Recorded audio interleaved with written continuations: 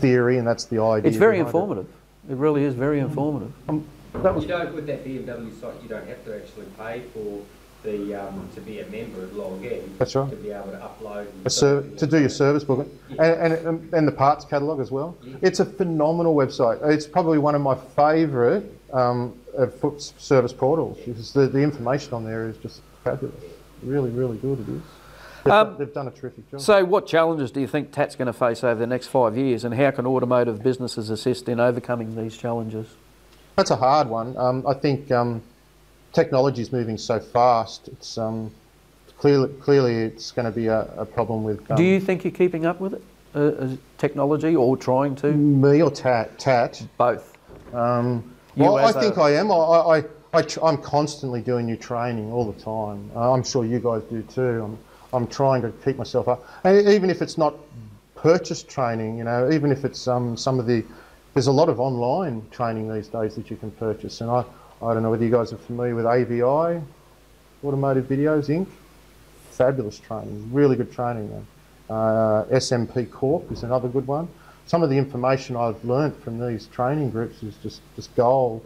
Um, but the problem is, it's just it's, it's moving exponentially now. It you know, like when Yeah. you consider what we've got coming now with um, um, ADAS, Advanced Driver Assistance Systems, with um, all the sonars, lidars, and radars, and everything that's on cars now, and and the, the I was only the other day because I love gadgets, so I'm already starting to look at buying um, a setup to do calibrations. Calibration for the, um, uh, the 30 sonar. grand is a start. 30 grand is a starting point. You know, you need a whole work, a whole bay, Yeah. one whole bay. Yeah, it's crazy. And that's lane changing and all that. that That's right. yeah. It'll, it'll allow you to, to calibrate all of the external sensors. Um, but but yeah, 30 grand is the cheapest I've found so far. That's just just crazy, you know. It's just crazy money it is. But you know, it's not, it's not going away. As much as I personally, I, I I'm I'm against automa- autonomous driving. Yeah. I, I'm I'm not for it at all. I think there's a you got to draw the line somewhere as far as you know our laziness in this world. And I think the day you take your hands off a steering wheel, I think that that's the line. Yeah. that's the line in I my totally mind. agree. Yeah. Um, but it's not going away. It's it's here, here it's here to stay. So we've just got to accept that. So I would like to be just like I was 10 years ago when I decided to become the diagnostic nerd in town. I think I'd like to be the one when the panel shop has to replace a windscreen and they've got to recalibrate those uh, the $5,000 windscreen Yep. and has to replace those sensors um, and needs them calibrated. I want to be the guy that they come that to. can do that. Yeah, Yep. yeah. Um, and uh, as far as uh, technology in in um, in TAT, um, I think we're moving at a good steady pace. We're we're trying to, as new things are coming um, coming out, we're trying to make them available to our members. Yeah. I do all of the website and software development. We have um, uh, in our resources section, we have a diagnostic programs section. And I've written about 20 programs to help members do different types of things on cars for diagnostics and repairs. Um, and, and we'll continue to, to develop and add new things like that all the time as, as, as it comes out. We, we try to stay on the, on the cutting edge. Sounds a bit lame, but we do. We Do you want to really go hard. back to back to home and just give everyone a run through on the website while while you're Yeah. right into it? When I go down to the Melbourne and Sydney trade shows, you know, it takes me almost a half an hour just to go. Like, if someone comes up and says, "Tell me about your website," from start to finish, it takes me roughly a half an hour, and I'm dry mouth by the time I finish talking. You know, it's um. So okay, so I'll give you 15 minutes. so, so, so TAT started off as a magazine. That was that was the essence of TAT initially. So the great thing is, all of our magazines have been uploaded to the website. So even if you only joined today, you can still go back and you can view all of our magazines from from from the start. It's great. Um, How did you find an article everyone was making? You just got to type it in or? we have a no, we have a search engine here.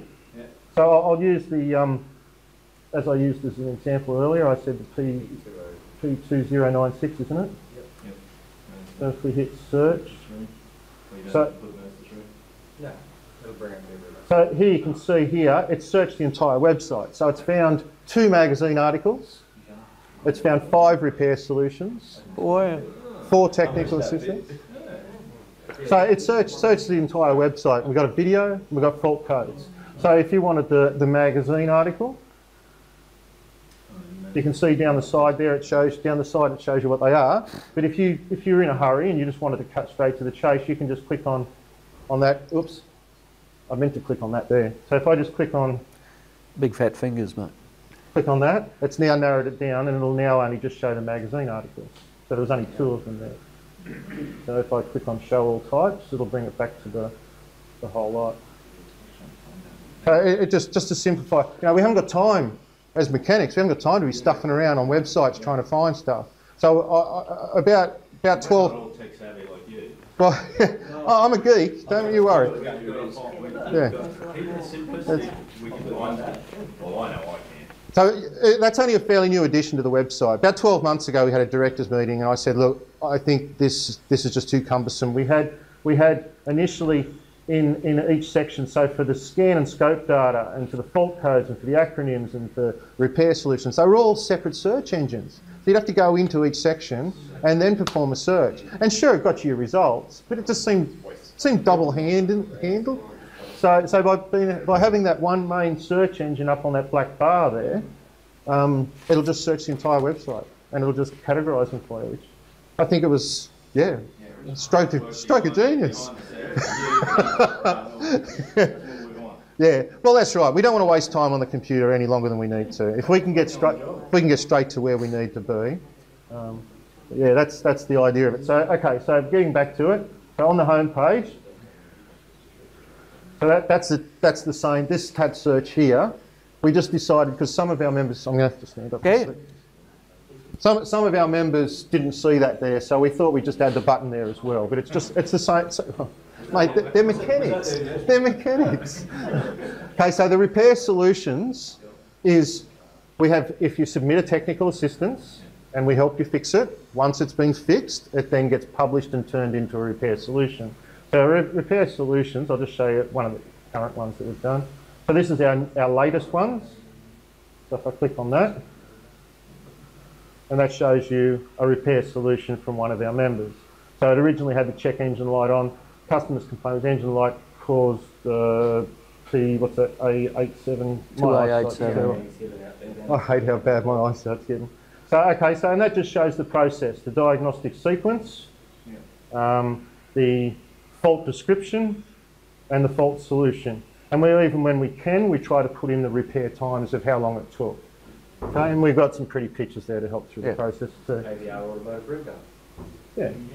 So that's so that's our so that was our our assistance converted over to a solution.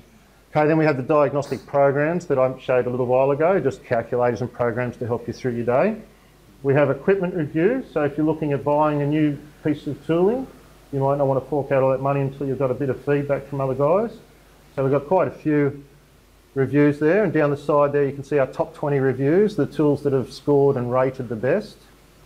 Um, you can see there's quite a few there with zeros still. It takes time for our members to. Some tools have been added, but nobody's reviewed them yet. Flexible funnel. Yeah, of all things, of all things. But they are handy. They they're, are. They're a great They thing. certainly are. Um, and we've and we've got a scrolling scrolling box there that shows us our most recent reviews.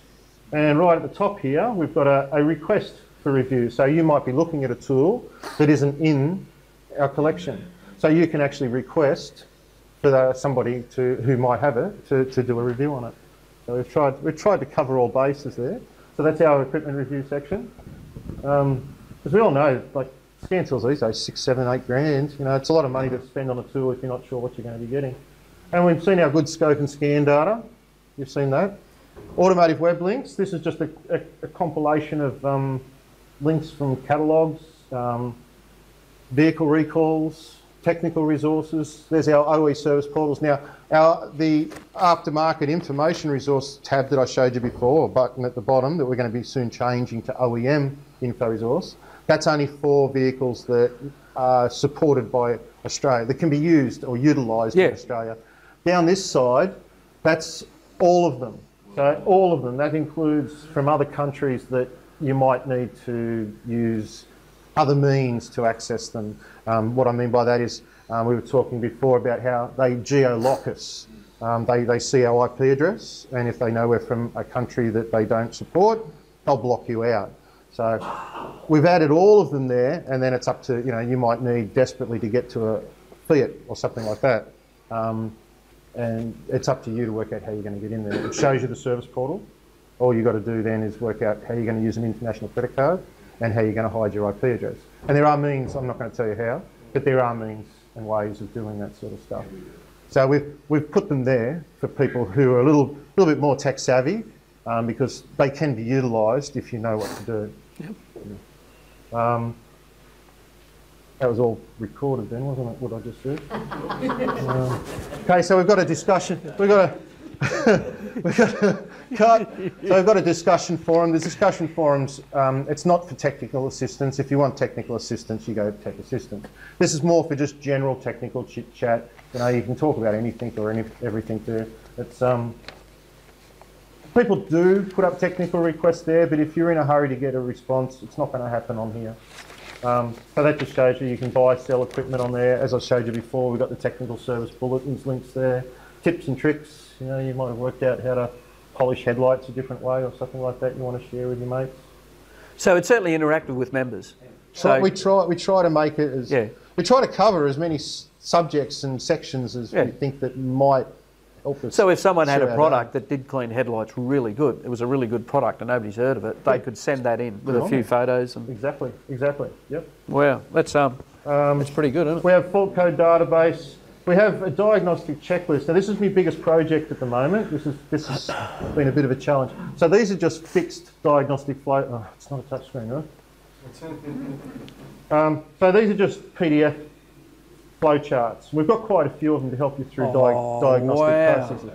But, Wow. but, but what we're currently working on is an interactive one, one that's actually in a dynamic nature that should be smart enough to think and, and give you answers on the fly to, to different changes. Trying to make an interactive flow chart is a big challenge, and we've got the whole technical team, the whole 10 of us, 12 of us actually, uh, are all working on it to try to get this happening. So at the moment, we've got, we've got these little flow charts. There's quite a few of them for different subjects, for different complaints.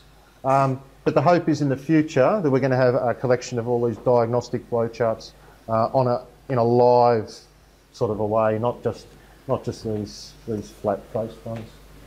Um,